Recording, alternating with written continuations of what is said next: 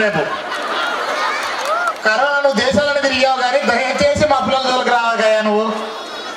ఓకేనా?